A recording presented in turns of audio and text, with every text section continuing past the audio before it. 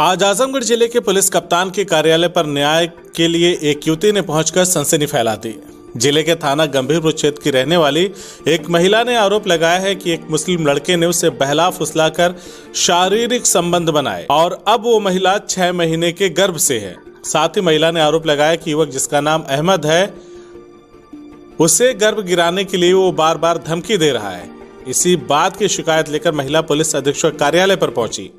थाना गंभीरपुर क्षेत्र की रहने वाली महिला के अनुसार उसके पति की मौत लगभग एक वर्ष पूर्व हो चुकी है। महिला के पास दो संतानें हैं। महिला ने कहा कि पति के मौत के बाद वो असहाय हो गई है।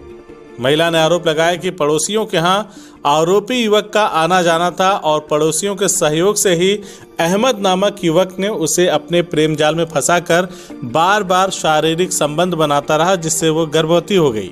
महिला का आरोप है कि अब वो उसे धमकी देता है। उसने इसकी शिकायत स्थानीय थाने पर भी किया, लेकिन सुनवाई न होने पर पुलिस अधीक्षक कार्यालय पहुंचकर अपना दुखड़ा सुनाया।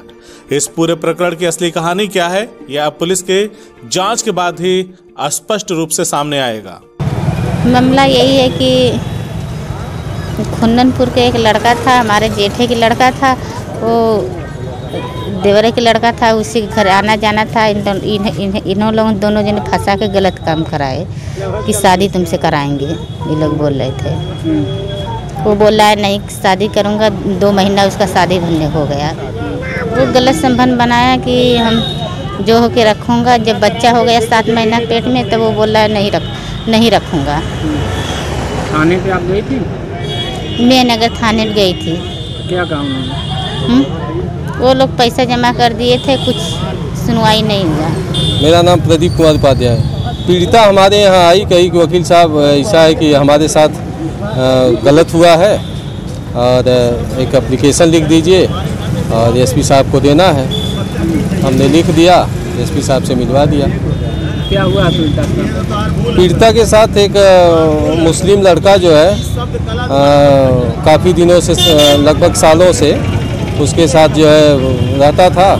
और जब गर्भ ठहर गया सात महीने का तो अब कह रहा है कि तुम गर्भ गिरवा दो या मार डालो, अब हमसे तुमसे मतलब नहीं है। हाँ एसपी साहब के इसको मिलवाए? तो एसपी साहब ने आर्डर किया है थाने पर।